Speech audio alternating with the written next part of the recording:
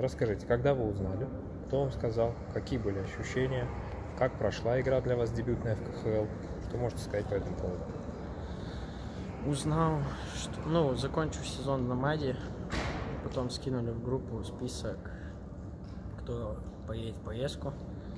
Прилетели, провели две тренировки с Борисом и улетели в поездку. Никаких волнений не было. Может, чуть-чуть где-то было. Так, дебют ну, удался хорошо. Победили, главное, победили. Выполняли установку тренера. Все.